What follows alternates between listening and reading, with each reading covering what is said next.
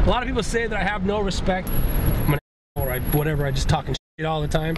It's like I just say what's on my mind. I'm usually right.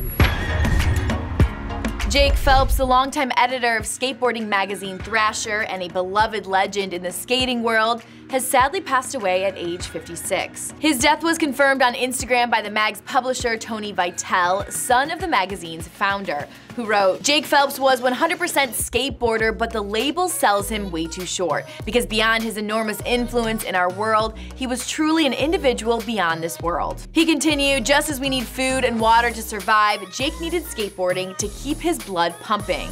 Pro skaters told Vice why Phelps was so important in the skate community in a 2011 profile of the Thrasher magazine editor. His whole life is skateboarding and he, you know, he knows like so much about skating.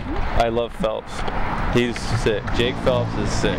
He is the true thrasher. No cause of death was announced at press time, and a spokesperson for Phelps could not be reached for comment. Jake was born in California on September 25, 1962, and was the editor in chief of Thrasher for 26 years, leveraging his lifelong passion for skateboarding into a gig at the San Francisco based Sports Bible, never giving up his love of skating.